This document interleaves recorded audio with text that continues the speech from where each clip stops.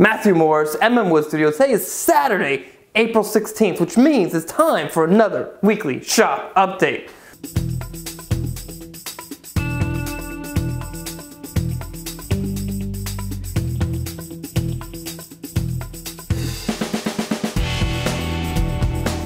So what's been going on in the shop this week? Well, I started work on the uh, table, the Nakashima inspired dining table. Um, last week I put out a video which I'll have a link for right over here as well as in the description for this where I gave a tour of my table, the features, and uh, basically showing you what I'm going to be building for this project. So that went out, that was great, got a great reception. Thank you so much everybody. And as soon as I finished editing that video, put it up, I started working here in the shop. So what I've been working on is breaking down parts. So the first thing I did was I took out my piece of 12 quarter inch walnut and I marked out where I wanted all of my parts. The trestle, the feet, and then the table supports at the top of the leg. And once I had all those guys marked out, it was time to break everything down. At the bandsaw, I broke that board down to its smaller parts and I let everything sit for a couple of days. And I came back and I started milling everything up. And I let that sit for a couple of days. And I did a final milling again and got them correct thickness, width, and length. And now let me talk about the lengths here. So these guys here, the feet, they're 24 inches long. Right? I know what that is. But what I don't know is what these guys need to be as far as length. So I have the boards back here for the tabletop and they're going to dictate how long this piece is. So I made it extra long. Um, this guy is, I think, sitting at 35 inches right now. Um, I don't believe that the tabletop is going to be sitting around 35 at all, probably somewhere closer to 30 or 32. And that way I just have a little bit extra room. Plus, these guys end just before the edges of the tabletop anyway. So I got some room to cut these guys down. Now, um, but these guys, as I said, they're 24 inches long. And in order to start doing the joinery in all these pieces after I've sized them, I gotta make some jigs. So here are the jigs that I made. These are router jigs. And um, the purpose of these is to be able to come in here and uh, do the bridle joinery that I need to do. So half of it at least, which is the half that happens on the part.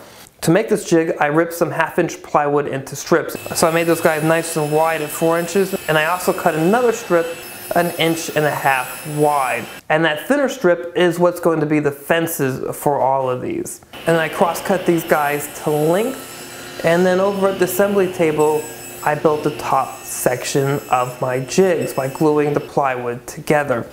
And that's this section right here. Once this was all glued up, and I can come and put the fences on. Now the fences uh, change positions. This fence sits back farther than this fence. This fence is actually um, just a little bit, well it's flush now, but just a little bit over flush uh, when I actually put it on. So it's inside of the, uh, what will be the mortise, so to speak.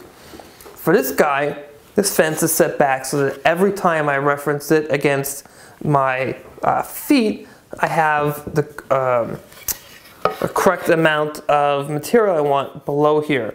So, um, but there's a combination of using this jig and this jig to cut the feet. For the, um, upper supports, it's just the jig with the fence that's just, uh, now it's flush now that I've removed some material. And um, this here is just two pass-throughs, so the, uh, the bridle joint We'll just go right over it.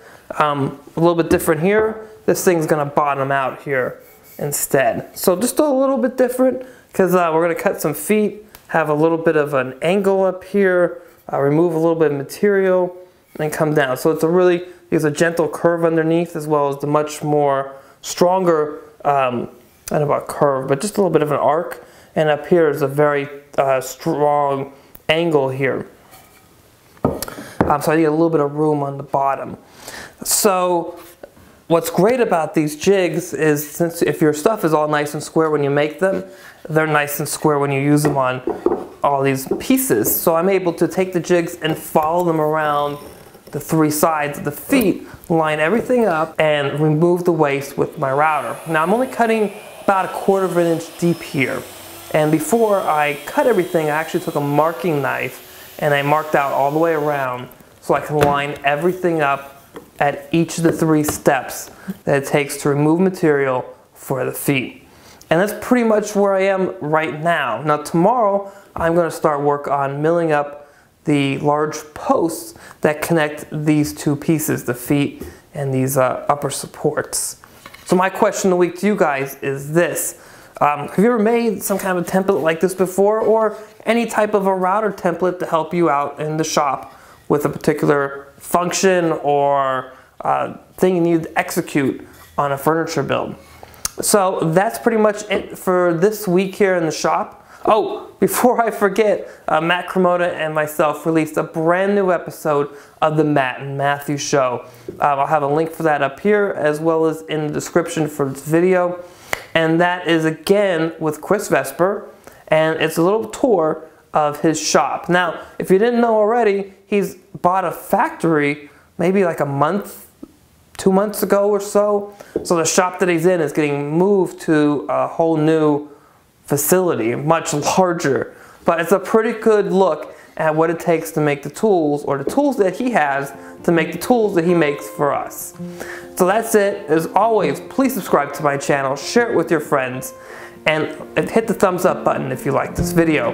If you're watching this on Facebook, hit the like button, share in your timeline, and head over to the MM Wood Studio page. And as always, have a great week in the shop.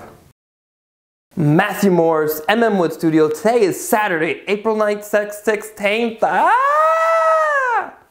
Try it again.